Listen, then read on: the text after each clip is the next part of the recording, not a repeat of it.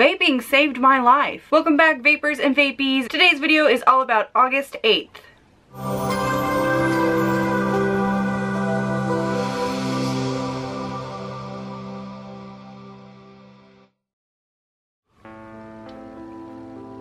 Alright guys, so today is the day, today is August 8th, the day that the FDA deeming regs go into effect.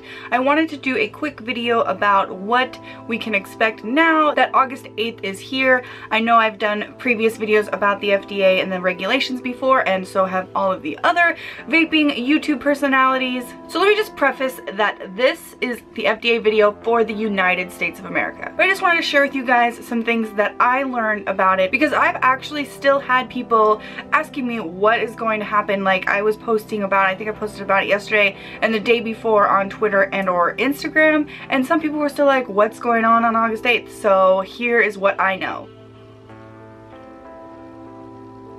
So there will be no new products on the market. Any new products would have to pass a PTMA, which is a pre-market tobacco application, or an SE. And those are so super expensive as well as really hard to get past anyway. So as far as new vaping equipment on the market, no. And actually, I am using something brand new to the market, which is the Axiom, and something that's been on the market for probably a year now. This is the eLeaf iStick 40 watt TC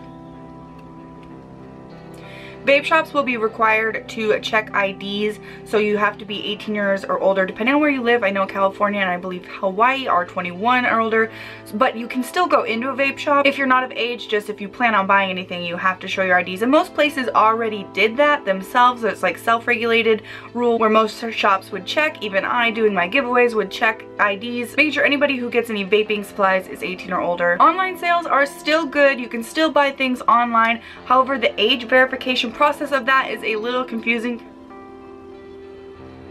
there are no more free samples and no more vape vending machines, which I personally never saw one before, but I guess that exists because they had to make a rule about that as well. So no free samples, shops can't give out free samples, and that kind of makes it really a gray area for me whether or not I can do giveaways. I don't think I can continue to do it the way that I have always done, but I'm definitely looking into that for you guys. Another thing is, oh, it's vapey. I love this thing. It's just so great. Another thing is kind of like health standard issue. They've raised that so there has to be child-proof caps, which some companies have already done themselves, but like that's like now you have to have that, as well as higher like standards like e-liquid, for e-liquid, like you can't have like a house e-liquid because the has to have a higher health standard than what most like DIY people can afford. Shops cannot help people rebuild or they are classified as a tobacco manufacturer which is so crazy to me and they also can't like repair your device for you or put your device together or like do your device like help you with your device. They can show you or demonstrate or instruct you on how to do it but they can't like so they could tell you how to build a coil but they can't build your coil for you. And another note on the e-liquid thing, e-liquid vendors can't do like flavor shots or different nicotine levels or PGVG ratios because that's all considered a new product and it has to be a product that was for sure on the market before today to be able to continue to sell it. So if you would get a flavor and you'd add an extra shot to it, you can no longer add the extra shot to it. It has to be just that flavor that they were selling. And basically, two years from now, if we cannot get the support from our state representatives for the Cole Bishop Amendment to change the predicate date from 2007, 99.9% .9 of all the vapor products that are on the market now that are being allowed to be sold for that two years will be gone. They will need PTMAs all of them. So if you don't want this to happen, then you need to do your part, which is calling your state representatives on the phone and urging them to support and co-sponsor the Cole Bishop Amendment. You need to follow CASAA.org, Not Blowing Smoke, The Right to Be Smoke-Free. All these vaping advocacy groups can help you learn how you can fight for your right to vape, but really now, more than ever, you just need to call your state representatives. But we definitely need to come together as vapers to do our part and fight for our right to vape because what you see now is what you get, and if you want that to at least stay that way, you need to do your part and urge your state representatives, call, email, letter, all that good stuff. And another thing that I'm not super clear on, but vape vendors and manufacturers are no longer allowed to say that their product is healthier than smoking.